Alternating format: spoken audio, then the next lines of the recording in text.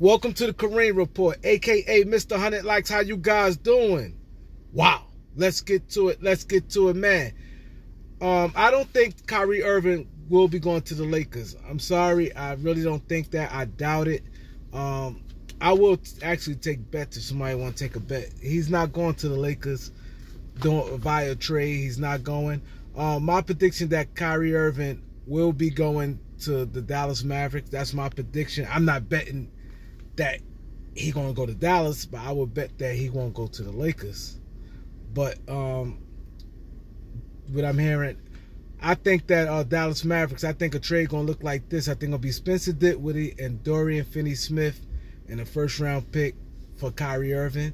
I think Kyrie Irving will be going to the Dallas Mavericks, uh, joining Luka Doncic. I definitely think that um, that would be a deadly uh, duel, but I think Dallas will definitely have to make another trade to get another wing defender. You're gonna have to put somebody else on that wing to defend. So um, they would definitely need to make the move before the deadline and and be able to, to make a second move.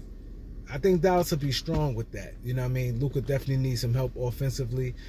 They still have Tim Hardaway Jr., uh, Christian Woods they definitely need another uh, wing defender. They have some outside shooting, you know, um, with Reggie Bullock also, and and uh, Davis Bertans. So um, yeah, I definitely think that uh, he'd probably be going to Dallas. That's my prediction. Kyrie Irving going to Dallas, but he's not going to the Lakers. So like, comment, share, subscribe.